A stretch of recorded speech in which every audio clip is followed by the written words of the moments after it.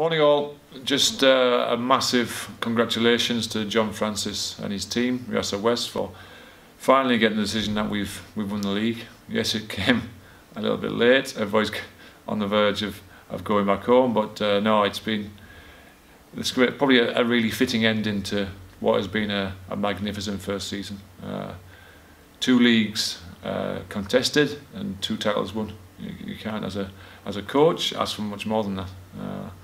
Great uh, desire, great attitude, uh, great development of, of a group of players that's moved forward at a, at a rapid rate. And there's some very good teams in uh, the West League, uh, lots of travelling, uh, lots of time on the road.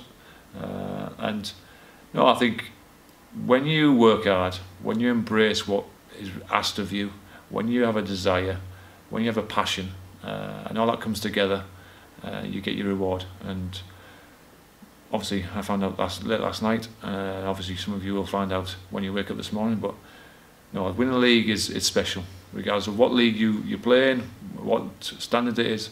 Always win the league is special. It means you're the best, uh, and it's a great way for probably the the fourth year students to to find to finish off what has been a great four years for them. I wish you could all stay a little bit longer uh, and uh, and move the the, the, the academy forward a little bit more and a little quicker. But that's that's life and that's how it is. So no, uh, all those involved, uh, massive congratulations.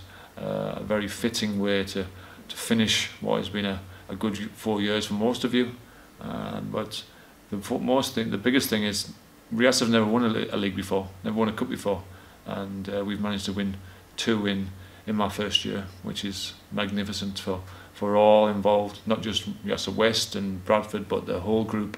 Uh, and it makes it more interesting for, for next year because you've got two titles to retain.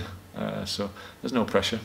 Uh, just let's go and win the, as many as we won this year, uh, if not more. Again, congratulations to all.